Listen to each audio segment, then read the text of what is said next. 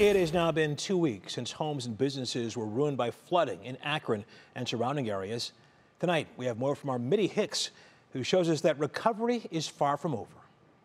I have never seen a flood like that in this area before. This is what Kate Lawson saw in the parking lot as she approached her small business the next morning after flooding here in Akron. I came down in the valley and saw bulldozers and deep mud, and they were bulldozing the mud off the roads and got to the parking lot, and I couldn't even get in the parking lot. The mud was so deep. The mud made it into her shop.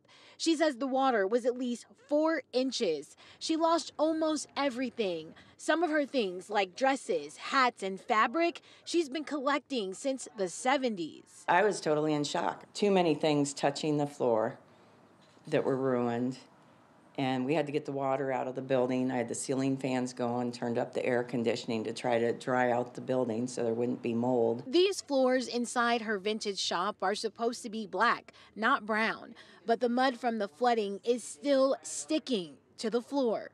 This flooding has cost her her livelihood. I've been out doing shows on the weekends. That's how I make my main source of income for the summer.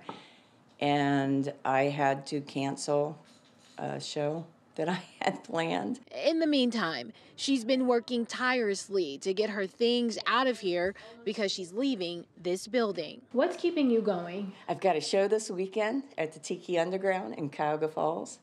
I've got two shows coming up in September the Ohio Vintage Fest in Cuyahoga Falls, and I'll be at the Ingenuity Fest for three days.